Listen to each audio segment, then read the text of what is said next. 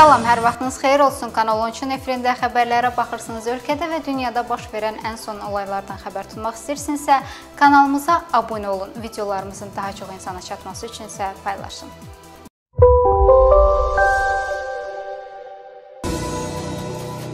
Azərbaycanın xalq yazıçısı Yaşad Fondunun Himayəçilik Şurasının üzvü Çingiz Abdullayev olduqca maraqlı təklif irəli sürüb. O, şəhid anası nişanının tətbiq edilməsini təklif edib. Bu barədə yazıçı özünün sosial şəbəkə hesabında yazıb. Stat: Təklif edirəm ki, qanunla şəhid anası nişanı tətbiq edilsin.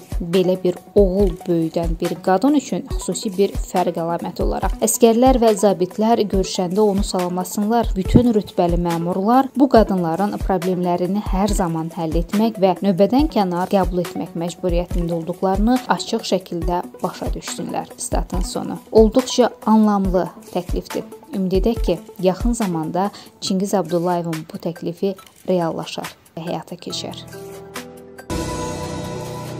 Vətən müharibəsi memorial kompleksi və Zəfər muzeyinin yeri nəhayət ki, bəlli oldu. Mədəniyyət Nazirliyindən verilən məlumata görə prezidentin 3 dekabr 2020-ci il tarixli sərəncamına əsasən Azərbaycan xalqının Vətən müharibəsində göstərdiyi misilsiz qəhrəmanlığın və qazandığı möhtəşəm tarixi zəfərin nümayiş etdirilməsi, şəhidlərimizin əziz xatirəsinin əbədiləşdirilməsi məqsədi ilə yaradılacaq Vətən müharibəsi memorial kompleksi və Zəfər muzeyinin yeri olaraq Xətai rayonunda hərbi qənimətlər parkının ərazisi müəyyən edilib.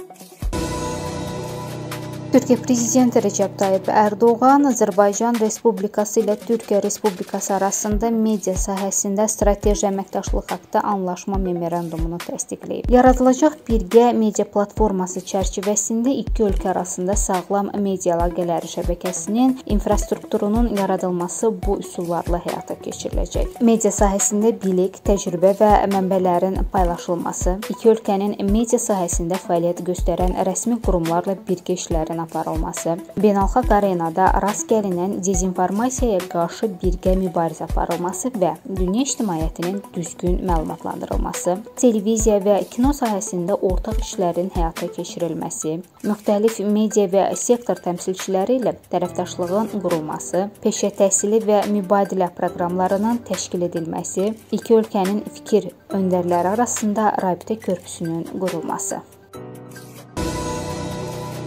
Ekologiya və Təbii Sərvətlər Nazirliyinin tabeliyində Dövlət Mineral Xammal ehtiyatlarından istifadə agentliyi Azərsu Açıq Səhmdar Cəmiyyətini məhkəməyə verib. Reportun verdiyi məlumata görə Bakı Kommersiya Məhkəməsində baxılacaq məhkəmə prosesinə Aytən Əliyeva sədrlik edəcək. İddiaya səbəb olan mübahisənin təfərrüatı açıqlanmayıb.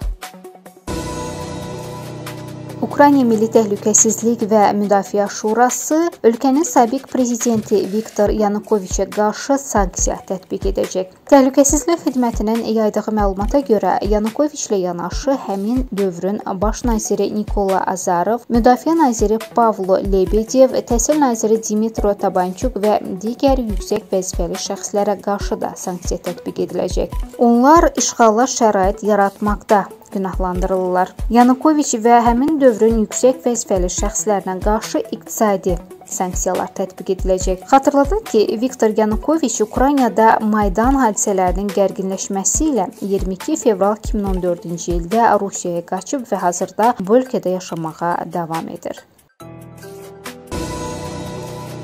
Türkiyə prezidenti Rəcəb Tayyib Ərdoğan qadınlara qarşı zorakılıq və məişət zorakılığının qarşısının alınması və onlara qarşı mübarizə haqqında Avropa Şurasının konvensiyasına, qısaca desək, İstanbul konvensiyasından çıxmaqla bağlı qərar imzalayıb. Ölkənin vitse-prezidenti Fuad Oktay verilmiş qərarı belə şərh edib. Stat: Türk qadının cəmiyyətdəki etibar və hörmətini layiq olduğu səviyyələrə çatdırmaq uğrunda apardığımız səmimi mücadiləni ənənəvi ənənəvi ictimai bağlarımızı da mühafizə edərək daha da irəli aparmaq əzmindəyik. Bu ali qayə üçün də çarəni dışarıda axtarmağa, başqalarını təqlid etməyə ehtiyac yoxdur. Çözüm məhz adət və ənənələrimizdə özümüzdə mövcuddur. Türkiyə İstanbul Konvensiyasına qoşularkən liberallardan ibarət qrup bu konvensiyanın zorakılığa qarşı mübarizədə böyük töhfə verəcəyini ümid edirdi.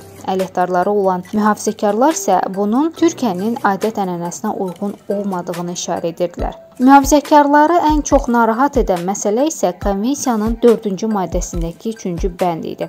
Həmin bənd cəmiyyətdəki bütün sosial qrupları, həmçinin LGBT fərdlərinin haqqlarının müdafiəsini ehtiva edirdi. Bax belə bu günlük və bu saatlıq bizdən bu qədər. Görüşmək ümidi ilə hələlik.